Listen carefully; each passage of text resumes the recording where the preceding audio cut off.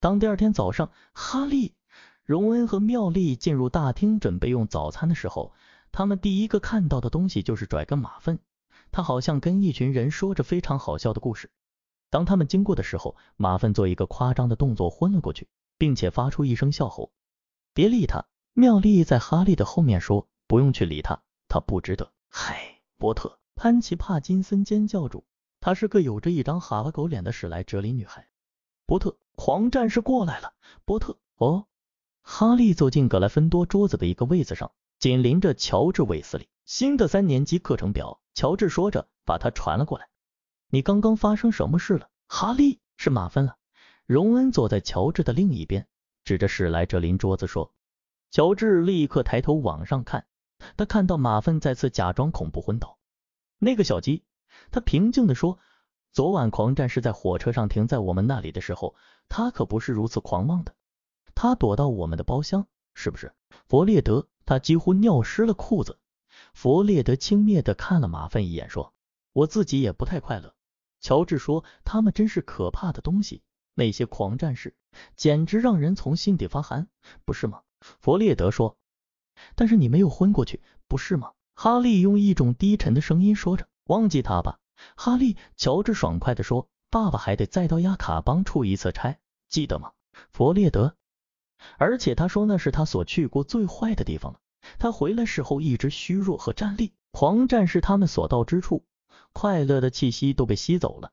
大部分的囚犯在那里都会发疯。无论如何，我们将会很高兴的看到马粪如何照料我们的第一个魁地奇比赛。弗列德说：“格莱芬多对史莱哲林是这一季的第一场比赛，记得吗？”哈利和马粪只有一次在魁地奇比赛里扛上，马粪明显的出了个大丑。哈利稍微的感觉到快活。自行取用香肠和油炸番茄。妙丽正在检查她的新的课程表。好，好了，今天我们要开始上一些新的科目。她高兴地说。妙丽，荣恩瞄了一眼他的课程表后说：“他们把你的课程表搞错了。你看，他们一天给你塞了十个左右的科目，时间根本就不够我能搞定的。我全都跟麦教授一起修正过了。但是你看，荣恩笑着说，看到这天早上没有？九点钟占卜课，还有下面。”九点钟麻瓜学习，以及荣恩拿过那张课程表，怀疑的说：“你看，接下来是数学，也是九点钟。我的意思是，我知道你很厉害，但是没有人能这么厉害。你怎么能同时上三门课的呀？不用担心。”妙丽简短的说：“当然，我没办法同时上三门课。把果酱拿给我。”妙丽说：“但是啊，荣恩，你干嘛管我的课程满不满？”妙丽尖声说道：“我已经告诉过你。”我都跟麦教授调整过了没多久，海哥出现在大厅。他穿住他的鼹鼠皮长上衣，而且有点魂不守舍的摇晃住他的大手里的一只死臭鼬。还好吧？他热切的说，踌躇住该不该往教员桌去。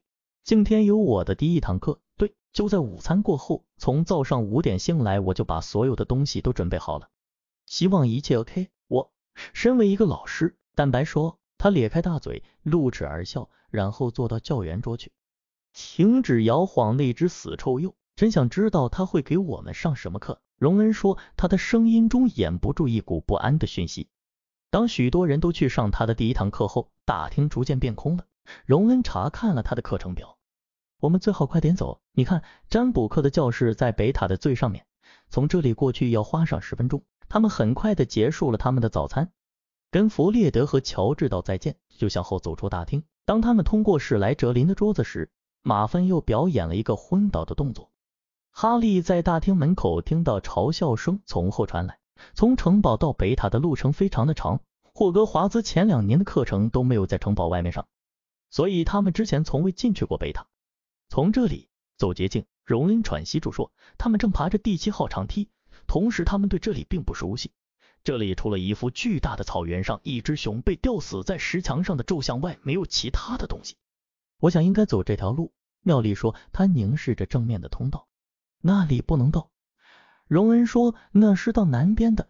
你看，可以从窗户往外看到湖的一部分。哈利看着那幅画，一个胖胖的、有灰色斑点的小马漫步在草原上，悠悠闲闲的吃着草。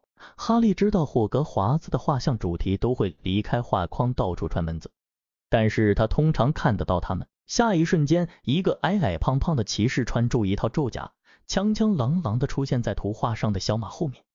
仔细一看，他的金属护膝被青草沾污了，使他看起美中不足。他叫喊住，看住哈利、荣恩和妙丽，侵入我私人的领域是何等丑恶的罪行啊！你们轻蔑我的责任，偶然抽签决定的。你这个恶棍，你这只小狗！当小骑士从他的鞘中用力拔出他的剑，并且开始挥动，他们惊异的看住他，愤怒的上上下下的用单脚猛跳。但是那把剑对他来说实在太长了，一个太过粗野的摇摆使他站立不稳，他的脸就一头栽进草地里。你还好吧？哈利移动到比较靠近图画的地方说：“回来，你就只会下流的吹牛，给我回来，你这个骗子！”骑士再一次抓紧他的剑，并且用后退的把他举向上，但是刀锋的排血槽深深的看入草地里。虽然他用尽吃奶的力气了，但是他还是不能把它拔起来。最后，他砰然的倒在背后的草地之上，推上他的面颊，擦了擦满是汗水的面颊。挺好，哈利趁着骑士休息的时候说：“我们正在寻找北方高塔，你知不知道路呢？”寻找骑士的愤怒像是立刻消失了。他的脚发出铿锵声，呼喊着：“跟我来，亲爱的朋友，我们将发现我们的目标，否则无法勇敢的猛攻并毁灭他。”他再次用力拔了一下他的剑，尝试失败后就哭着骑上那匹肥肥的小马。走吧，好心的先生小姐，跟我走，跟我走。他跑住，盔甲发出高昂的铿锵声，进入画框的左边部分消失。他们跟住他盔甲的声音，沿着走廊疾奔。偶尔他们会看到他穿过另一幅画，继续向前跑。即使有强壮的信，困境仍将到访。骑士大喊。接着，他们在一群惊慌的女人衬裙里看到他再度出现。那幅画挂在狭窄的螺旋梯的墙壁上。哈利、荣恩和妙丽大声喘息住攀登那紧密的螺旋阶梯，感到越来越晕眩了。直到最后，他们在上方听到小小的声音，才发现他们终于到达教室了。再见了。骑士哭泣着，一头钻进一幅看起来不怎么吉祥的修道士的画像之内。再见了，我偏手知足的同志。如果你需要一颗高贵的心和钢铁般的肌肉，请找卡多冈骑士。是的，我们会再来找你的。当骑士消失时，荣恩喃喃自语：“如果我们有人发疯的话。”他们攀上最后几个台阶后，一个小小的楼梯间出现了。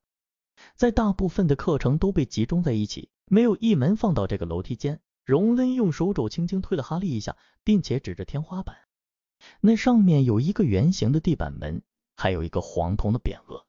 塞比尔特罗尼占卜教师。哈利读住，我想应该就是这里了吧？好像是在回答他的询问似的。地板门突然打开，而且一个银色的阶梯降在哈利的脚边，每个人都静了下来。我排你后面。荣恩笑了笑说。所以哈利率先登上楼梯。他进入一间看起来相当奇特的教室，看了看四周。事实上，他看起来一点也不像一间教室，比较像是某人的阁楼或一家旧式的茶行。只有不到二十张的圆形桌，塞满了它的里面，全被印花棉布小椅垫的扶手椅包围，每件东西都在微暗中发亮，发出深红色的光芒。窗户上的那些窗帘帐全部是拉上的，而且许多的灯覆盖着暗红色的布帘。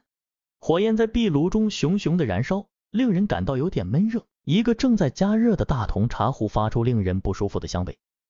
在绕着圆形墙壁周围的架子上面有许多布满灰尘的羽毛、断掉的蜡烛和许多套破烂游戏牌，数不清的饮水晶的球和一大堆茶杯排列在一起。当哈利巡视着教室的周围时，荣恩在哈利的肩膀后面出现，跟他轻声细话：“他在哪里？”荣恩说。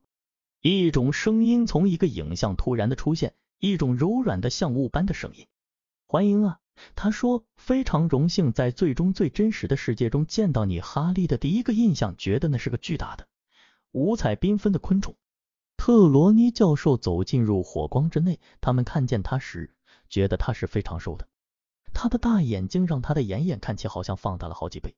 而且他被一条薄纱般金光闪烁的披肩包覆住，数不清的串珠项链吊在他纺锤形的脖子周围，而且他的手臂和手腕都戴着手镯，并且叮叮当当的作响。坐下来，我的孩子，坐下来。他说，他们都笨手笨脚的爬进扶手椅上的椅垫。哈利、荣恩和妙丽他们围着同一张圆桌坐住。欢迎来到占卜课，特罗尼教授坐在火炉前的一把友谊扶手椅上说：“我的名字是特罗尼教授，你可能以前不曾看过我。我发现太常落入那纷纷扰扰的学校主塔，会遮蔽我的心眼。没有任何人回应这个奇怪的宣言。”特罗尼教授细致优雅的再度拉起他的披肩，继续说：“既然你已经选择学习占卜，所有魔法中最困难的艺术，我必须事先警告你，如果你没有看透未来的视野。”那么我能教你的只有很小很小的部分，也就是在书本可及的领域内带领你。听了这些话，哈利和荣恩两人对看了一眼，不禁露齿而笑。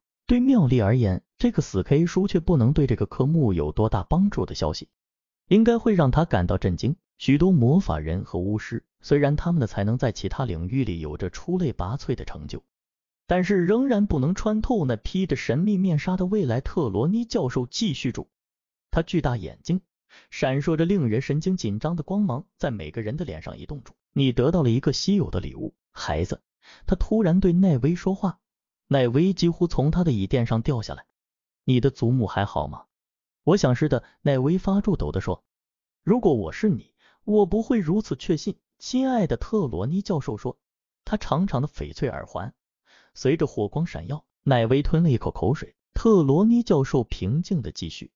我们今年将会学习基本的占卜法，第一课将学会读取茶叶，下一课我们将会进展到手相术。顺带一提，亲爱的，他的眼光突然的射向巴蒂帕提，你得要小心。一个红色头发的男人，巴蒂震惊的看了荣恩一眼，荣恩在他椅子的右后方边缘。到了夏天的时候，特罗尼教授继续，我们将进展到水晶球。如果我们能够火速的完成其他部分，但是不幸的，二月的时候。我们班上将被感冒的污秽所侵袭，我自己也会失声。而在复活节之前，我们之间的其中一个将会永远的留下我们。伴随这个宣言的是一阵非常紧张的沉默。但是特罗尼教授好像不知道，我好惊奇，亲爱的，他说到拉芬德布朗，他瑟缩的退回他的椅子中。你可以帮我把那个最大的银茶壶拿给我吗？拉芬德松了一口气，站起来把架子上的一个巨大茶壶拿起来。而且放到特罗尼教授的桌子上。谢谢你，亲爱的。附带一提，你所恐惧的那件事，它会在十月十六日星期五发生。拉芬德站里。现在我要你们两个人分成一组，从架子上拿一个茶杯到我这里，我会把它装满，然后你们就坐下来喝它，把茶水喝完，只剩下那些渣子。用左手冲洗杯子的周围三次，接着把杯子倒放在他的茶碟上。等到剩下的茶汁排出之后，再把你的杯子拿给你的搭档解读。你可以使用拨开云雾见未来第六页的范例。我会在你们之间移动，教导并且帮助你们。呃，亲爱的，他抓着奈威的手臂，让他站起来。当在你打破你的第一个杯子之后，你觉得选一个蓝色花样的比较好吗？我宁可选粉红色的。想也当然。奈威赶住到架子上拿茶杯时，就传来打破瓷器的清脆金属声。特罗尼教授拿着一个簸箕和刷子帮他清扫完毕后说：“其中一个蓝色的。”然后，亲爱的，希望你不介意，谢谢你。当哈利和荣恩把他们的茶杯被装满后，他们很快的回去他们的桌子，而且试着喝煮沸的茶。他们按照特罗尼教授教的清洗茶杯的周围，然后排出剩余的茶水，留下渣子，彼此交换。很好，他们俩都把书本打开到第六页。荣恩说：“你看我的怎么样？”一团湿透的褐色废物，哈利说。房间里的烟散发出沉重的香气，使他觉得想睡觉，而且脑筋打结。解放你的思想，亲爱的，而且允许你的眼睛超越现实的去看。特罗尼教授带着忧郁的哭声说道。哈利试着振作起来。对，你的是一个弯曲的十字架。他研究着拨开云雾见未来，所以跟你有关的是审判和苦楚。我很抱歉。但是有一件事可能是跟太阳有关，等等，那表示巨大的快乐，所以你将会受罚，但是非常快乐。如果你问我，我会说你需要去保健室检查你的心眼。荣恩说，而他们俩都笑喘不过气来，直到特罗尼教授死瞪住他们。换我了，荣恩凝视着哈利的茶杯，他努力的让额头都皱了起来。这小块像是滚球帽。他说，也许你以后会到魔法部工作。他把茶杯转向另一个方向。但是从这边，看起来它比较像个像石。那是什么？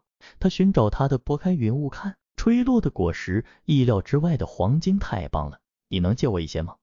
而且这里还有。他再一次旋转杯子，这看起来像一只动物。是的，如果那是他的头，它看起来像一只河马，不，一只羊。当哈利忍不住笑了出来时，特罗尼教授走到附近，让我看看，亲爱的，他责难似的对荣恩说，一把抢过哈利的杯子。每个人都安静的看。特罗尼教授注视着茶杯里面，将它反时针方向旋转。理应，亲爱的，你有一个致命的天敌，这谁都知道啊！妙丽大声的说悄悄话。特罗尼教授注视着他，很好，他们都知道。妙丽说，每个人都知道哈利和那个人的关系。哈利和荣恩用一种混合着惊愕和赞赏眼光注视着他，他们以前从来没有听过妙丽像这样对一位教师说话。特罗尼教授选择不回答。他再一次降下哈利的杯子，用他巨大的眼睛看住，并且继续旋转它。没话，象征攻击。亲爱的，亲爱的，这不是一个让人快乐的杯子。我想那是一个玩滚球的人帽子。荣恩羞怯地说：“头盖骨，你的前途充满了危险，亲爱的。”每个人正在注视，死瞪着特罗尼教授。特罗尼教授最后把杯子再转了一个弯，突然他大声喘气，然后尖声大叫。同时还有另外一个有打破瓷器的清脆金属音。奈威又打破了他的第二的杯子。特罗尼教授跌落一把空的扶手椅内，他闪闪发光，手扶在他心口上，而且他的眼睛是闭上的。亲爱的孩子，我可怜的孩子，不，他无法言喻。不，别问我他是什么。教授，丁汤姆斯立刻说。每个人都移动他们的脚，慢慢的挤到哈利和荣恩的桌子附近。紧邻着特罗尼教授的椅子，想找一个好的角度看哈利的杯子。亲爱的，特罗尼教授的大眼睛戏剧的打开，那是一个葛莱姆。什么？哈利说，他不是唯一不了解的人。丁汤姆斯耸了耸肩，而拉芬德布朗则满脸困惑。但是几乎每个人都惊恐的用手捂住他们的嘴。葛莱姆，亲爱的，是葛莱姆！特罗尼教授哭喊住，他激动的看着哈利，还没有了解。巨人妖犬尝到目的，我亲爱的孩子，它是一个预兆，最坏的预兆，死亡的预兆。哈利的胃突然一阵收缩。华丽与无痕那本死亡的预兆封面上的那只狗，木兰新月那里的狗影像。拉芬德布朗用手捂住他的嘴。每个人都看住哈利，除了妙丽。他站起来，走到特罗尼教授的椅子后面。我不认为他像个葛莱姆，他平淡的说。特罗尼教授嫌恶的审视妙丽，你要原谅我这么说，亲爱的，但是我感觉你的周围对于未来的共鸣感受性非常小。西莫菲尼干从旁边偏住他的头看，如果你这么看，他看起来就跟葛莱姆一样。他眯住眼睛说，但是从这个角度看，就比较像一头驴子。他倾斜到左边说，你们是不是已经决定好我要不要死啊？哈利拿他自己开玩笑，但是现在没人理他。我想，我们今天就在这里下课。特罗尼教授又用他那种模糊的声音说：“是的，请带着你的东西离开。”班上的同学默默的将他们的茶杯送还给特罗尼教授，拿起他们的书，并且关上他们的袋子。荣恩甚至避免看哈利的眼睛，直到我们再一次相遇。特罗尼教授微弱的说：“无穷的财富是属于你的。”哦，亲爱的，他指着奈威，下次你将会迟到。因为你介意你额外增加的困难工作，哈利、荣恩和妙丽沉默的走下特罗尼教授的楼梯，然后往麦教授的变形课出发。两个教室的距离相当的远，以至于他们虽然很早就离开占卜教室，却也只是刚好来得及赶上而已。哈利选择了一个教室右后方的位子，感觉好像他坐在一个非常明亮的照明灯底下。班上其他的人继续私下的注视他，好像他随时都会死。他刚刚听了麦教授正在告诉他们关于变兽人能够任意转变成动物的巫师的事，甚至没注意到他把他的眼睛周围变成一只虎斑猫的眼睛。说真的，你们今天是怎么了？麦教授说，轻轻的把自己变回来，注视着所有的学生。虽然这没什么大不了的，但是这是我第一次，我的变形课不得到一个班级的掌声。所有的人转头向哈利再看了一眼，但是没有人说话。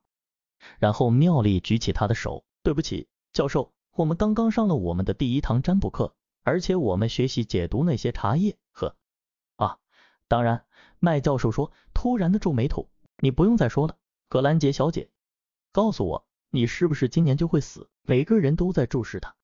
是我，哈利说，在最后一刻，我就知道。麦教授用他又圆又小、晶亮如珠的眼睛看着哈利说：“那么你应该知道，波特，从他到这所学校以后，塞比尔特罗尼每年都会预知一个学生死亡，但是他们根本没有人死亡。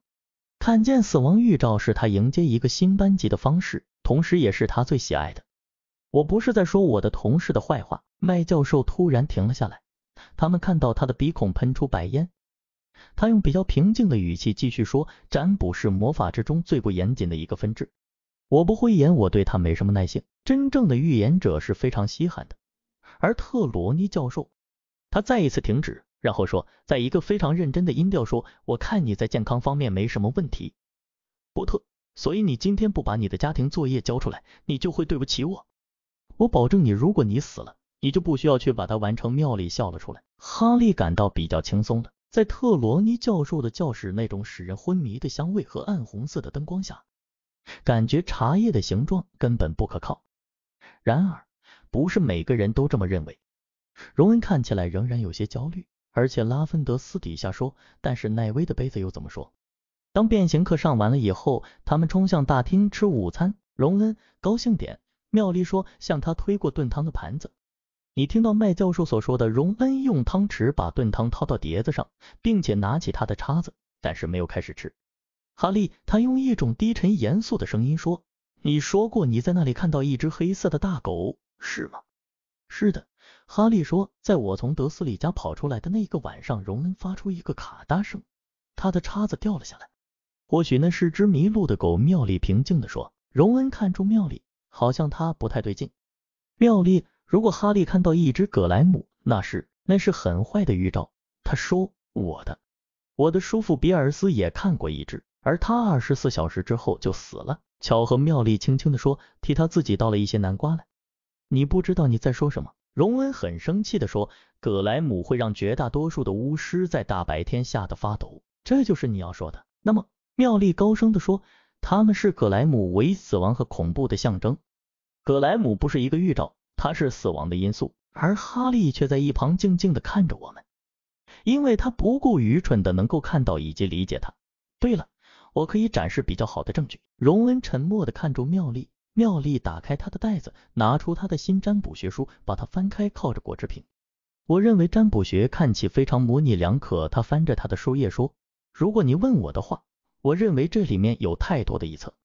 但是杯子里的葛莱姆可不是什么模棱两可的东西。”荣恩激动地说：“你第一次看的时候，不是相当有自信的告诉哈利，他是一只羊。”妙丽冷然说：“特罗尼教授说你没有看见真实的气质，你对于你无法掌握的事情都认为他是废物。”他已经有点精神失常了。妙丽猛然合上他的占卜学书，以至于桌子上的一些肉和胡萝卜四处飞溅。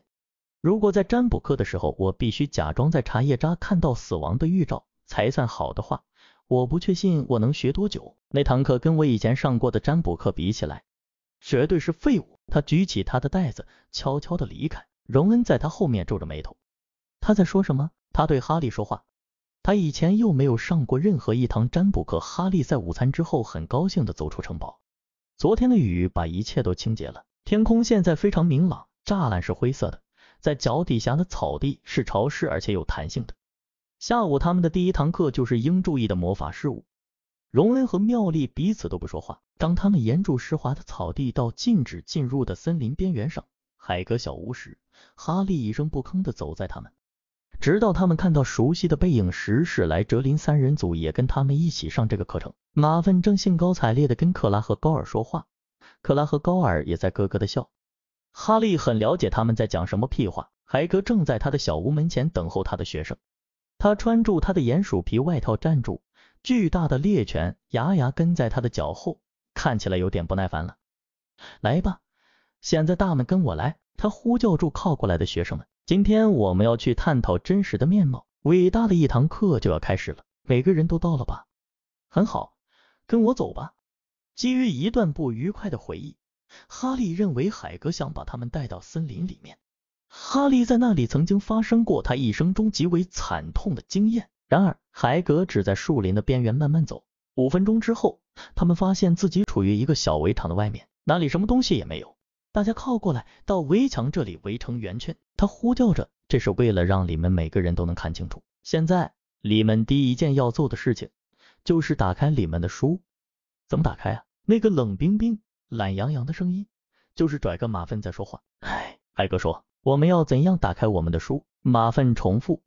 他拿出他的本身就是怪物的怪物书，他的书上用粗绳子绑得紧紧的。其他的人也把他们的拿出来。有些人跟哈利一样，用束带把他们的书绑住；其他的人有的把他们塞在一个紧紧袋子里，或者用老虎钳锁紧他们。有没有没有人可以大打开他们的书？海格看起来垂头丧气的说。所有的学生都摇了摇他们的头。你们只要这样捧。海格说的，这好像是世界上最明显的事。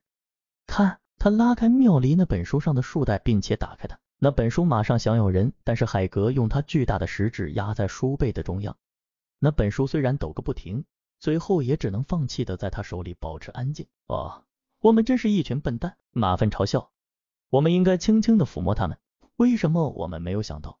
我我想他们觉得很好笑。海格不确定的对妙丽说：“哦，这真是超特大号的好笑。”马粪说：“真是太高干了。”叫我们用一本老是想撕烂我们手的书。闭上你的嘴，马粪哈利静静地说。海格看起来相当气馁，而哈利想要让海格的第一堂课圆满成功。好的。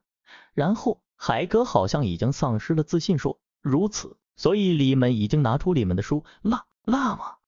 现在你们要开始学魔法事物。是的，所以我将带你们过去。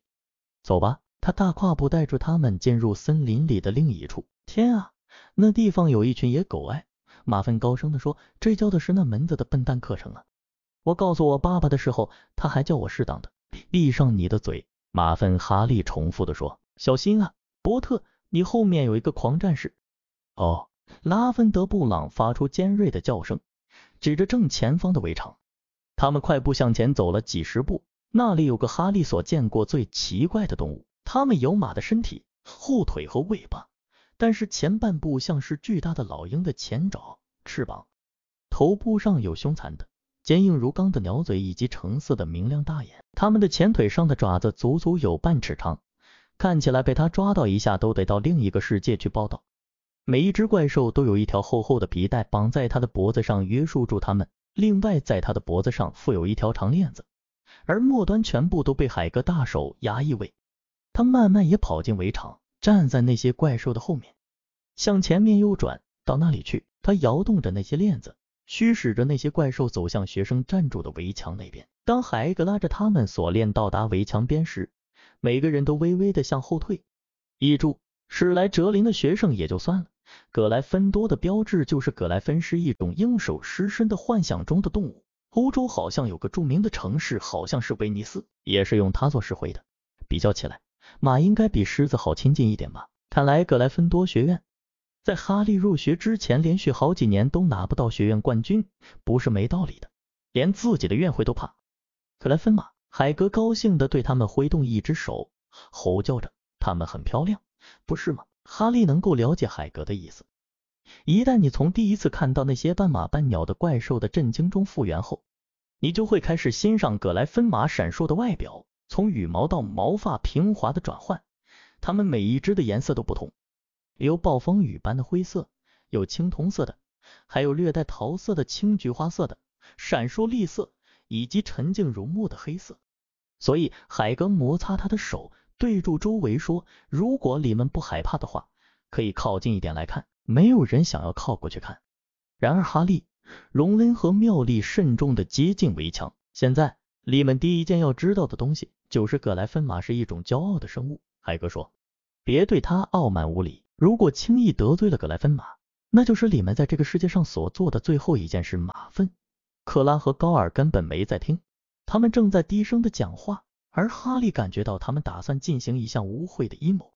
他们正在计划如何破坏这堂课。你们首先走到葛莱芬马的前面。海格继续：“他是很讲求礼貌的，看见没？”你们走向他，先鞠个躬，然后你们再等一下下。如果他也跟你鞠躬，并且往后退，就表示允许你们碰他。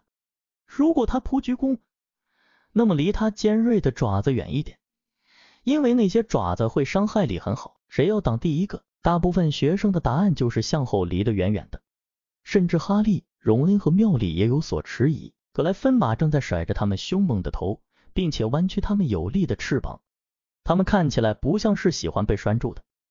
没有人吗？海格祈求的看了一眼，说：“我来。”哈利说。他的后面立刻传一阵急促的呼吸声，拉芬德和巴蒂轻声的惊呼：“哦，不要！哈利，记得你的茶叶。”哈利不理他们，他攀过围场的围墙。好小子，哈利！海格吼叫住。对，然后让我们看看李怎么操纵巴克比克。他解开其中一条铁链，推出一匹灰色的格莱芬马，并且取下他的皮带。在围场另一边的学生们都屏住他们的呼吸。马粪的满怀恶意的眯上眼睛。简单吧？现在，哈利，海格安静的说，里们的眼睛要盯住他。现在试着扑要眨眼，如果里面眨眼太多次，格莱芬马酒扑会信赖里们。哈利的眼睛已经开始要流出眼泪了，但是他没有闭上眼睛。巴克比克开始转动他又大又尖的头。而且他的橘色眼睛正用一种凶猛的眼光注视着哈利。就是现在，海格说，就是现在，哈利，现在鞠躬。哈利不太喜欢把他的脖子背面暴露给巴克比克，但是当他告诉自己他一定要做，他短短的弓下身子，然后看住他。克莱芬马仍然傲慢的注视着他，他没有移动。海格担忧的哀鸣。好吧，向后离去。现在，哈利。轻松的做，但是接下来哈利有了个巨大的惊奇，格莱芬马突然的弯下他满布鳞片的前肢，并且低下身子，毫无疑问的是在鞠躬。好的做，哈利，海格狂喜的说，对，你现在能碰他了，轻拍他的鸟嘴，继续。当你原以为失去了，却又在获得时，这种感觉是最棒的了。哈利向格莱芬马慢慢的移动过去，他轻拍那些鸟嘴好几次。而格莱芬马懒洋洋的闭上他的眼睛，好像很享受。所有的学生都拼命的鼓掌，除了马粪、克拉和高尔之外，他们表现出深深的失望。很好。然后哈利、海格说：“我认为他可能会让你骑他。”这比哈利想要的更多。他骑扫帚是很有两下，但是他不确定骑格莱芬马也是一样的。李爬上那里，就是翅膀连接处的后面。海格说。呃，且里不要想拉他的任何地方的羽毛，他不喜欢那样。哈利把他的脚放在巴克比克的翅膀顶端，努力的让自己不再向后退。巴克比克站起来，哈利不知道要抓那里，他伸手可及的地方都布满了羽毛。继续，然后海格吼叫住，拍了一下格莱芬马的屁股，没有丝毫预警。哈利两边的十二只翅膀啪啪的打开，在他升高之前。他勉强抱住格莱芬的脖子周围，他并不像一只扫帚。哈利知道他比较喜欢那个。格莱芬马的翅膀不住的拍打到他，让他很不舒服，因为他感到好像要被丢出去了，所以他的脚夹得紧紧的。那些平滑的羽毛在他的手指之下滑走，而且他没有办法获得一个比较可靠的助力点。比起他的光轮两千的平稳动作，他现在感到他自己在格莱芬马玫瑰色的后腿及臀部前后摇晃。而且快要从翅膀上摔下去了。巴克比克飞到围场的边缘，然后抬头向后回到地面。这时哈利已经不太害怕了。当他降低高度之时，他平稳的倚靠在他的脖子后面，感觉到他将要滑到鸟嘴之上。然后当四只不同类型的脚踏在地面上时，他感到一个沈重的抨击。他再一次试着把自己推上去作证。干得好，哈利！海格吼叫住。除了马芬、克拉和高尔以外。每个人都在帮他加油。好，下一个换谁去？被哈利的成功激励了大家。班上其他的学生慎重的攀入围场。海格在他们来到之前一一释放格莱芬马。很快的，每个人都在围场上正经八百的鞠躬。奈威重复的向后的跑，他那一只好像不想弯曲他的膝盖。荣恩和妙丽在栗子色的那只练习，哈利则在一旁看大戏。马粪、克拉和高尔试着接管巴克比克。他对住马粪弯腰，马粪正在轻拍他的鸟嘴，但是看起来很轻蔑。这是非常容易的，马粪懒洋洋的说，大声的像是要让哈利听到。我知道这是个定理，如果波特能做到，我打赌你是一点也不危险的，不是吗？他对格莱芬玛说话，不是吗？你这个巨大的丑八怪！他钢铁般的爪子闪光般的挥了出去，马粪发出一声高亢的尖叫，下一瞬间，海格抓住巴克比克的颈环，把他摔到后面去，在千钧一发之际救了马粪。马粪滚倒在草地上。他的宽松长袍上血花四溅，我快要死了！马粪叫喊住，造成班上的恐慌。我要死了！看清楚，是他杀我的！你不会死的！海格脸色苍白的说：“谁来帮助我？我要把他送出栅里。”当海格轻轻松松的举起马粪时，妙丽跑去把闸门打开。当他们经过之时，哈利看到了马粪的手臂上有一道长长的而且很深的伤口，血水飞溅到草地上。而海格抱着摊向城堡的方向跑去，非常的震惊。应注意的魔法事务班上的人跟在后面慢慢走回去。史莱哲林的人全部都在骂着海格，他们应该立刻开除他。潘斯珀金森一边说一边哭，那是马粪自己的错。丁汤姆斯喊叫着，克拉和高尔胁迫的弯曲他们的肌肉。他们一起登上石头阶梯，进入废弃的入口大厅。如果他没事，我要看到他。潘斯说：“他们全都看着他奔上大理石的楼梯。”史莱哲林的学生们低声的讨论住海格的事。他们经过地牢，往自己的房间离去。哈利、荣恩和妙丽往上走向格莱芬多塔。你认为他会不会有问题？妙丽紧张的说：“他当然不会有事。庞瑞女士只要一秒就能医好所有的伤口。”哈利说：“那位魔法护士医过比这个更坏的伤口。”在海格的第一堂课。这可是发生了一件非常糟糕的事，不是吗？荣恩看起来很焦虑地说：“相信马粪会把事情搞得更糟。”晚餐时间，他们是第一个抵达大厅的。原本想要看到海格，但是他没有在那里。他们不会开除他吧？妙丽忧虑的说：“他没有碰他的牛排和肉冻，他们最好不会。”荣恩说：“荣恩也没有吃。”哈利看住史莱哲林桌子，以克拉和高尔为中心，挤成了一个大团体。偷偷的谈论住，哈利确信他们用他们自己的版本，正在加油添醋的调理马粪伤害事件。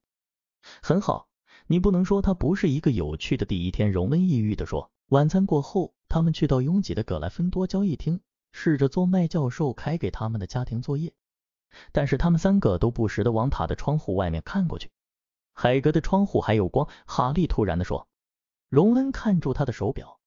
如果我们快一点，我们还可以跟他见面。现在还相当早的。我不这么认为。妙丽慢慢的说。哈利瞪了他一眼。我可以到那边去。他尖叫住说。只要狂战士在这里，天狼星就不敢来，不是吗？因此，他们放下他们的东西，从肖像孔离开。幸运的是，在到达前门的途中，他们都没有遇到任何人，因为他们不完全确信他们可以到外面。草仍然湿的，而且在微幕中看起来几乎是黑色的。当他们到达海格的小屋时，他们敲了敲门，一种狂怒的声音回答。进来，海格卷起他的衬衣，正用力擦在他的木质桌子。他那只猎野猪的大猎狗牙牙把他的头靠在海格的膝盖里，一眼就看得出海格曾经喝了很多酒。在他的面前有一个大的几乎像童子的羊脂啤酒杯。而且他看他们的时候似乎很难对准焦点。我绝对打破了记录。当他认出他们时，他沮丧地说：“以前绝对没有一位教师只教了一天的记录。你还没有被开除，海哥。”妙丽气喘吁吁地说：“不尽然。”海格非常沮丧地说：“再倒了一大堆的不明液体到他的大啤酒杯中。只要发生了一件不该发生的事，麻烦后来他还好吗？”当他们全部坐下时，荣恩说：“伤口不严重，是吧？”庞瑞女士最好能够医好他，海格顿的说，但是他一直不停的大喊痛苦，伤口覆盖着绷带，他一直在呻吟，他根本是装的。哈利立刻说，庞瑞女士能看穿他的把戏，他去年还让我一半的骨头重新生长。马粪的信用指数就跟臭掉的牛奶是同等值的，学校方面什么也没有跟我说，但然了，海哥悲惨的说，他们认为我闯的祸太大了。所以等一下会来大走格莱芬玛，把他们仿生或是杀掉。我只是想好好的上我的第一堂课，一切都是我的过错，那全是马粪的过错。海哥，妙丽认真的说，我们是证人。哈利说，你说过如果我们对他们傲慢无礼，格莱芬马就会发动攻击，他不听的话就是马芬的问题。我们会把真相告诉邓布利多。是的，不用烦恼，海格，我们会支持你的。荣恩说。泪水从海格甲虫般黑色眼睛的皱褶边滴落，他抓住哈利和荣恩两个人，并且把他们进入怀里，紧紧拥抱。我认为你已经有喝够了，海格妙丽固执的说。他把桌子上的大啤酒杯拿出去倒空它。对，也许他是正确的，海格说。他放开哈利和荣恩，两个人都蹒跚的离开，摩擦他们的肋骨。海格用力的从椅子里把自己举起，摇摇晃晃的跟住妙丽到外面。他们听到一大声的溅水声，他做了什么？当妙丽带着空的大啤酒杯回来时，哈利紧张的问：“把他的头浸在水桶里。”妙丽说：“放下大啤酒杯后离开。”海格回来时浑身都湿透了，他的长发和胡须都湿哒哒的，他是掉眼睛里的水，这样比较好。他说他像狗一样的摇动他的头，让他们都跟住湿透了。听，你们来看我很好，我真的。海格忽然停止，注视着哈利，好像他才刚刚发现他在那里。你们知道你们在干什么？哦，他吼，突然的跳到半空中。你们不可以在黄昏以后到这附近。哈利，哈，有你们两个，都给我滚！海格大跨步的走向哈利，抓住的他的手臂，把他拉到门前。走开！海格愤怒的说：“我要你们全部回去学校，而且别让我逮到你们在黄昏以后跑来看我，我不值得。”这部纯粹是我个人认为非常好的作品，所以我做了这部影片给大家。